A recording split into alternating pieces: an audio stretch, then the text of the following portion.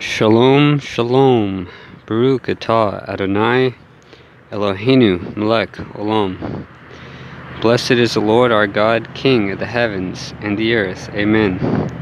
Jesus Christ is Lord. He is the Alpha, the Omega, the beginning and the ending, who was and is and is to come, the Lord God Almighty. Yeshua, Jesus the Messiah. Amen. That's according to Isaiah 9, verse 6, Micah 5, verse 2, Revelations 1, John chapter 1, and Colossians chapter 1. They all speak of Jesus as God in, in the flesh, God Almighty. Amen. Well, brothers and sisters, things are heating up between Russia and, and Ukraine and NATO and the United States. And uh, we're also seeing this strong alliance with uh, Russia and China now forming. Okay. And it is now said that Russia is using hypersonic missiles that can basically be unstoppable. Okay. And uh, so that's a big threat to the United States as well because I don't even think we can defend against uh, hypersonic uh, nuclear missiles.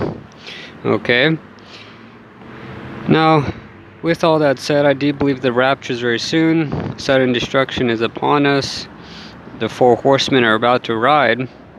And so we have to be ready with oil in our lamps. As one of the five wise virgins, we have to repent of our sins, turn away from our sins, and follow Christ according to his commandments and according to the New Testament Bible.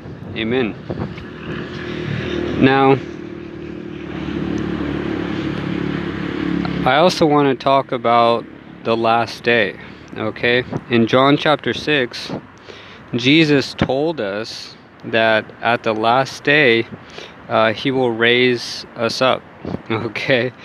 Now, the Bible also tells us that you know, a day with the Lord is as a thousand years here on the earth, okay?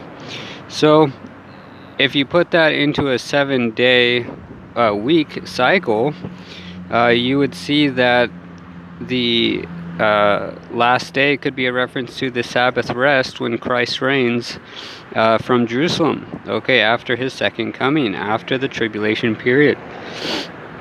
Also, uh, if you do the if you calculate when Adam uh, was was created and the world was created, most scholars would say that that was about 4,000 years ago. Uh, I'm sorry, uh, 6,000 years ago, uh, roughly 4,000 BCE, okay, before Christ. So it was uh, roughly 4,000 years from Adam to Christ, and then from Christ until now, it's been about 2,000 years.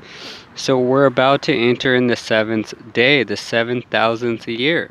And Christ says in John chapter 6, He will raise us up at the last day. Okay, I think it's speaking of the uh, resurrection that's referenced in uh, 1 Corinthians 15 52 and 1 Thessalonians chapter 4, verses 16 and 17. Jesus says, or the Bible says that the dead in Christ should. Hello. How's it going? Did you want to see my sign? Okay.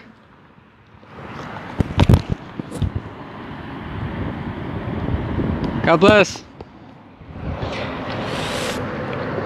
The Bible says that, you know, according to First Thessalonians Thessalonians 4, verse 16 and 17, it says that, uh, you know, the dead in Christ shall rise first, and those who are alive and remain shall be caught up uh, to be with the Lord forever. Amen. Uh, the dead in Christ shall rise first, and those who are alive and remain will be caught up to be with the Lord. I'm sorry, I'm getting a little bit of brain fog here.